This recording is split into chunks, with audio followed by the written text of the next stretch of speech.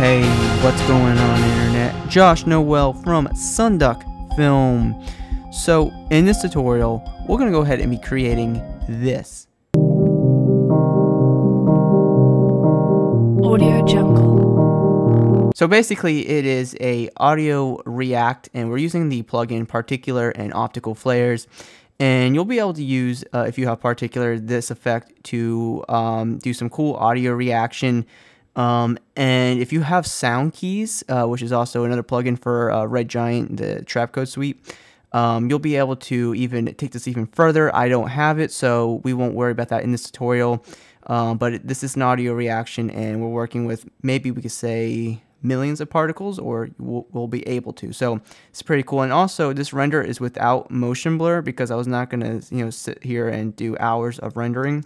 But anyway, let's go ahead and get started and talk about how we can create this. So the first thing we're going to do is that I already have my audio in the timeline and I have the waveform up. And if you want to bring up the waveforms, you hit LL on your keyboard to bring up the waveform. And then what we'll do is go up to Effect, Audio, and we'll click on High, Low, Pass. And then we want to send the dry out, uh, set the dry out to 400%, which is the max. So let's go here and right click this layer and let's go ahead and set the keyframe assistant to convert audio to keyframes. And if we hit uh, U on our keyboard to bring up the keyframes, as you can see, we have the slider controls. Let's go here and delete the left and right channels.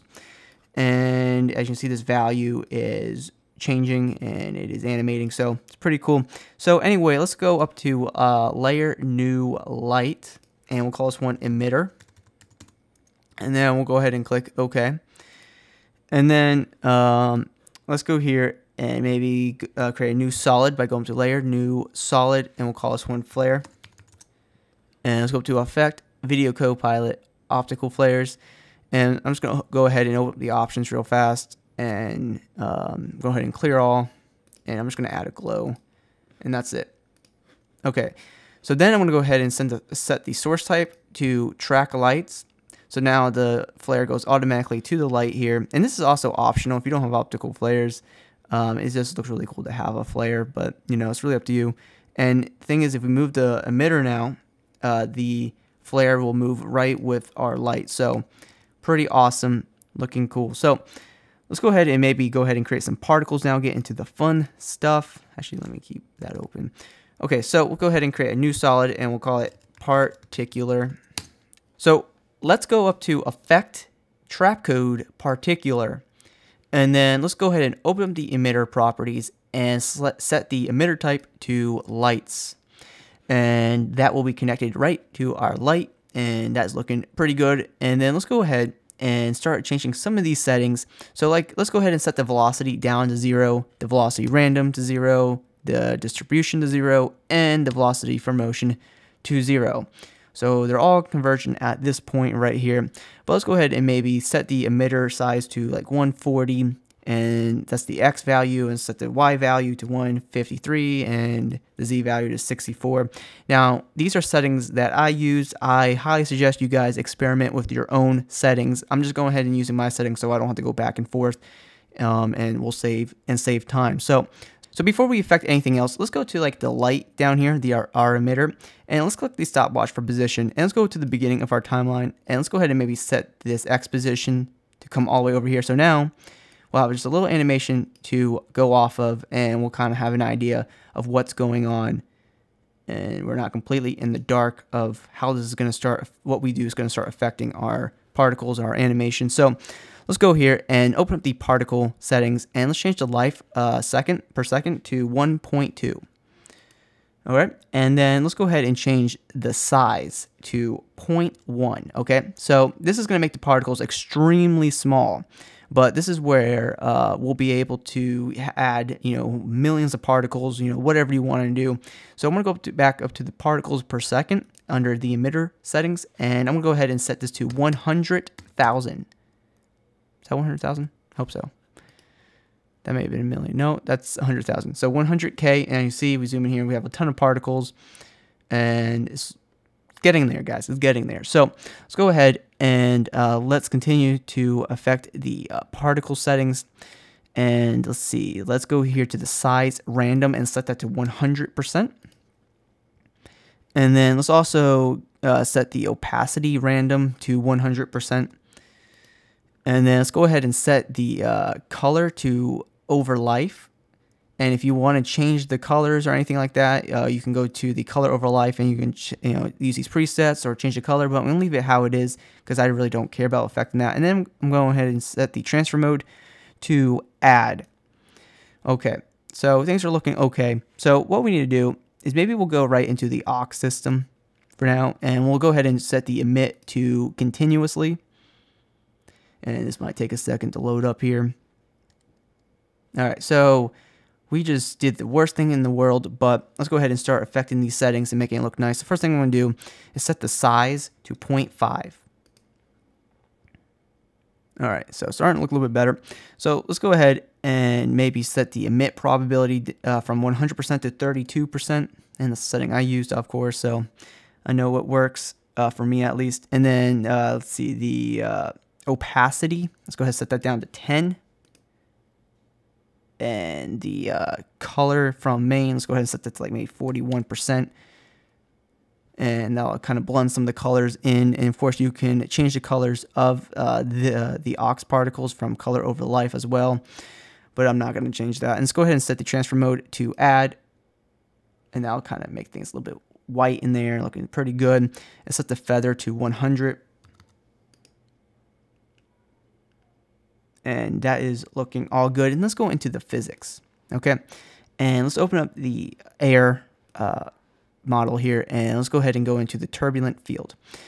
And let's go ahead and go to where it says effect position, set that to 1200. And you should definitely mess around with this setting just because you'll get you'll get some crazy stuff. And let's set the effect size to 10.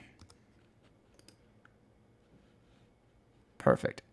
So now we'll have definitely these cool stream of particles, uh, you know, going along here. We create a nice little look. Actually, might look even better than uh, my actual demo. But let's keep continuing to go here and let's go to the physics and let's change the gravity to like 10. Okay, and um, I think I made a mistake. And uh, basically the fade in time per second, that should be set to 5. And you see now we have this nice little stream of particles. And there's a few more settings we could affect right here, like the octave uh, scale. We can set that to 3. And then the actual scale to like maybe 30.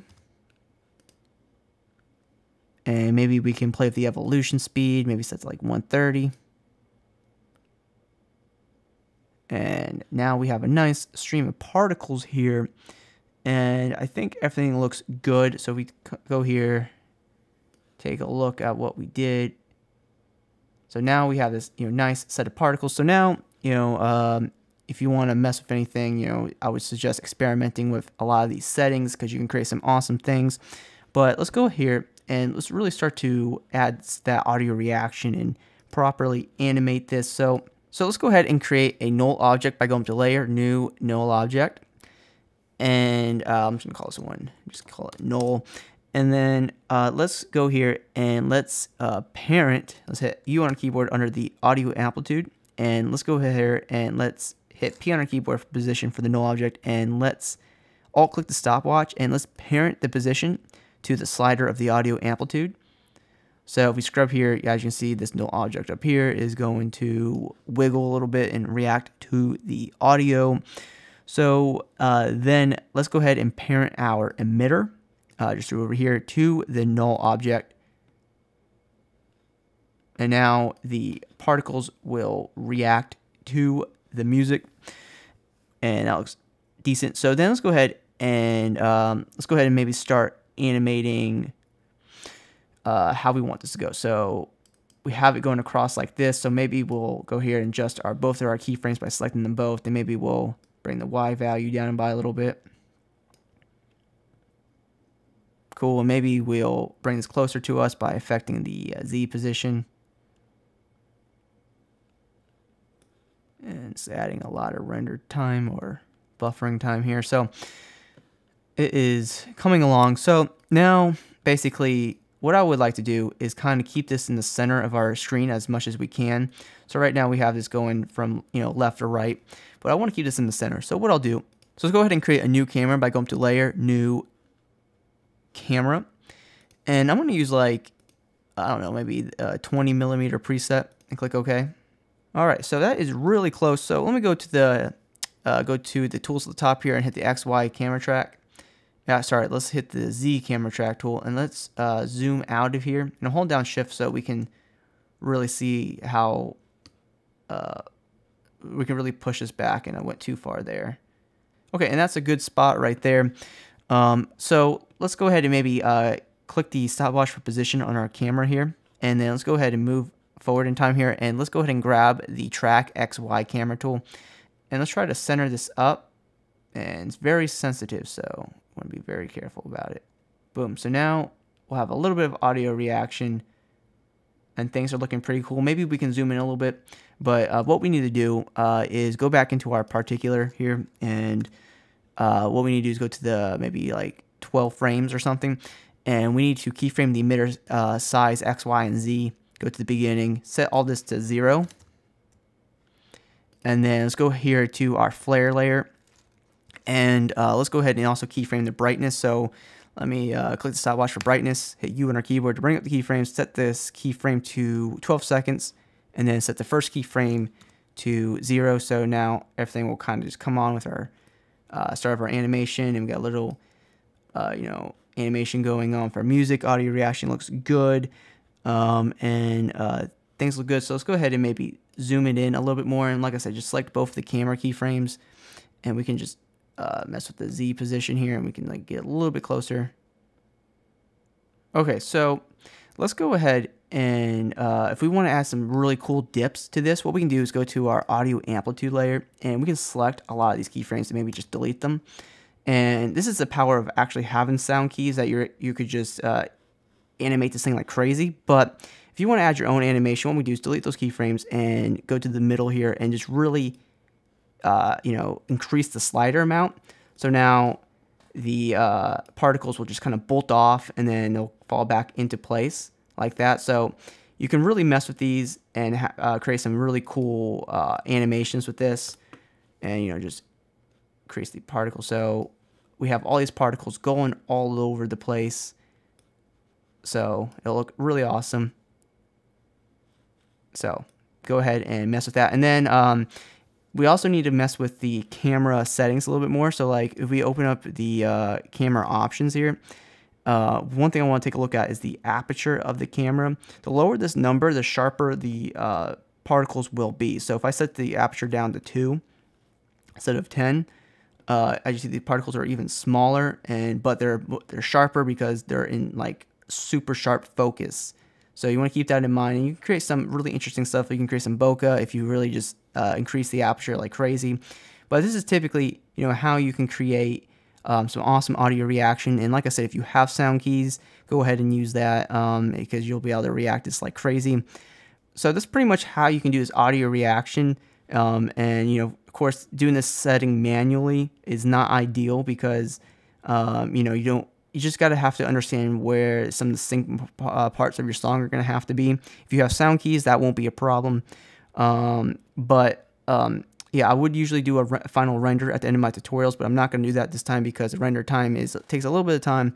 And then if you enable motion blur, you'll, you'll create a really sick look, but the render time is going to be insane. So just keep that in mind when you enable motion blur. If I can let it load here, um, I'll show you kind of what this will look like and look really nice. So I don't know, it just it'll look more realistic and cool, but um, just make sure you know you understand what you're getting yourself into when you enable motion blur. So guys, if you have any questions or requests for tutorials, please drop a comment down below. And if this video has been helpful, please drop a like. It helps me out tremendously. And if you're new to the channel, please consider subscribing for more After Effects tutorials just like this. And guys, thank you so much for watching this video, and hopefully I'll see you soon.